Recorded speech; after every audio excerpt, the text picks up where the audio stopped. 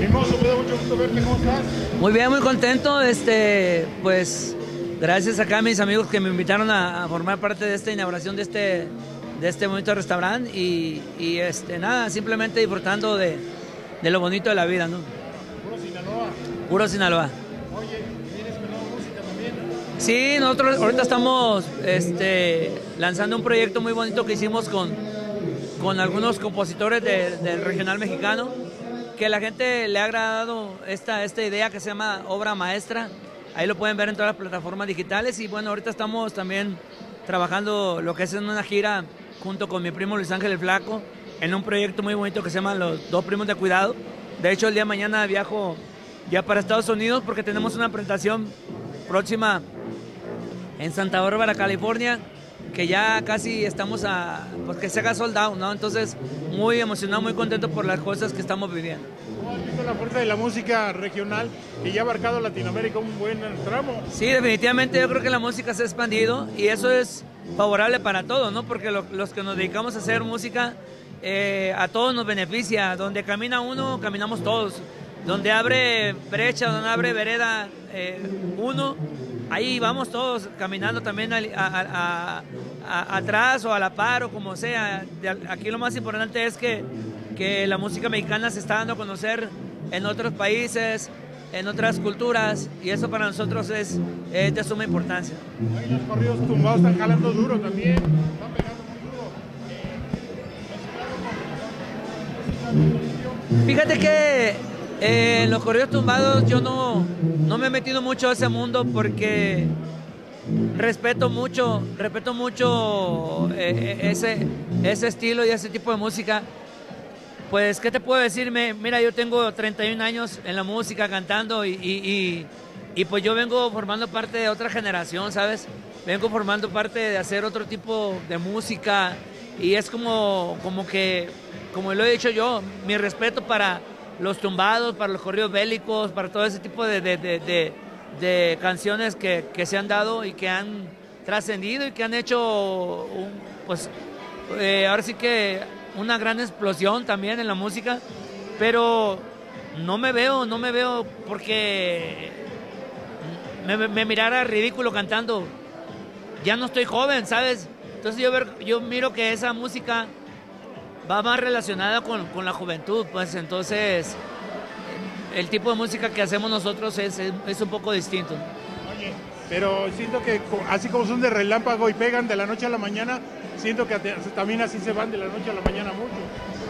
Pues es que hoy en día la música creo yo que se ha vuelto un poco, pues cómo se puede decir, desechable, ¿no? Como tú bien lo dices, ha habido muchos artistas que de repente están y, y de repente ya no, pero ahora sí que quien manda aquí es el público, ¿no? Eh, no tienes que ser o tener la mejor voz para, para estar en, las grandes en los grandes niveles de la música. Yo creo que aquí las cosas han cambiado, ¿no? A través de las redes sociales, el público de repente sale un cantante de la noche a la mañana y ya lo hace exitoso o ídolo, simplemente con un con unos cuantos segundos de, de TikTok, se podría decir. Ya no ocupas ni siquiera cantar una canción completa para que ya seas un famoso, ¿no? Entonces, ese tipo de cosas que uno va viendo y la respeta uno, ¿no? Porque, porque obviamente, pues de alguna manera yo no me puedo quejar de lo que he vivido. En la música me ha dado mucho, me sigue dando mucho y yo hasta el momento creo que lo que estoy haciendo humildemente me ha funcionado. Pero ¿cómo son las cosas, no? Hoy se quejan mucho que la mujer, la agresión y todo ese rollo por parte del hombre, pero la música, digo, ofende a la mujer muy feo también, ¿no? La letra de la música. Yo trato de cuidar mucho esa parte, ¿no? Yo creo que si tú vas a escuchar mi música, pues yo creo que nunca vas a escuchar una canción muy agresiva, una canción que, que golpea a la mujer, que hable de, de- de- que hable de, de- de ins- insultarla. No es mi estilo, no es mi personalidad. Mi, mi estilo de música que yo hago, pues es más, más dulce, más tierno, más algunas rancheras, pero también pues muchas canciones baladas a lo largo de, de- de- de mi trayectoria, de mis años de carrera artística, pues muchos temas románticos me han funcionado y he seguido con esa línea. ¿Cómo salir adelante, Mimoso, cuando de repente salen noticias, por ejemplo, tu mujer, tu mujer o tu esposa, pues alegando agresión y desarrollo? Porque pues tú trabajas con emociones y de alguna de otra forma debes de estar bien para darle también al público algo mejor. Pues ahorita estoy bien, ahorita gracias a Dios estoy bien, ya ese, ese trago amargo ya, ya pasó.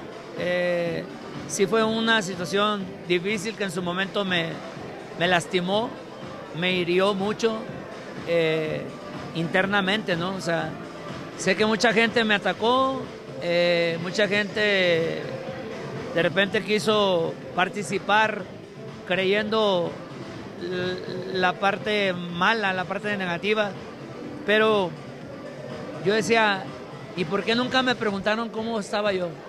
¿Y por qué nunca me preguntaron cómo yo me sentía? ¿Y por qué nunca me preguntaron por qué me veían borracho aquí, borracho allá y pasado de copas acá pasado de copas allá? Porque también una decepción también te lleva a, a tomar acciones, pues refugiándote en el alcohol, ¿no? que ahorita gracias a Dios estoy muy bien, eh, me siento muy cómodo, muy a gusto, estoy tratando de bajar de peso, estoy tratando de, darle más importancia a mi salud, que es lo más importante. Ya me divorcié, ya me divorcié, estoy divorciado, nada más que, bueno, creo que es primera vez que lo estoy diciendo aquí, una de las pocas veces que lo estoy diciendo, pero te digo, a veces las redes sociales comentan y dicen tantas cosas que, que no son ciertas, pero, pero vaya, uno debe entender que, eres figura pública, eres imagen y vas a estar siempre en, el ojo del huracán, como dicen, ¿no? Entonces, no, no es algo que, me, se me haga extraño, que de repente las, las opiniones de, la gente se dividan, ¿no? Pero al final de cuentas, el de arriba es el que aclara todo, ¿no? es un fracaso a fin de cuentas. Pues yo yo lo veo como una experiencia, yo lo veo como un, eh, un, aprendizaje. Yo creo que no soy la única persona que se divorcia en la vida, no soy la única persona que, que tiene una ruptura en una relación, uno más, uno menos. Eh, como a diario puede existir. Simplemente soy una persona que día con día quiere seguir aprendiendo, quiere seguir siendo mejor y, nada, aceptar lo que, lo que de repente en la vida se ponga, ¿no? O sea, la vida no es todo color de rosa. Tú puedes estar en un momento de tu carrera, en el mejor de tus momentos que estás viviendo, pero enfrentando una situación y dices tú, pues bueno, si me toca vivirlo así, tengo que hacerlo, ¿no? Por algo pasan las cosas. No tenemos que aquilatarlo y componer canciones para sanar ese corazón, ¿no? Ahí va. Eh, está, está bonito una, un, título, me acaba de dar un, título de una idea de canción. Un corazón sanado. Imagínense que escribieron. Sí, vamos a ver qué, qué, qué hacemos. Sí. Gracias. Gracias.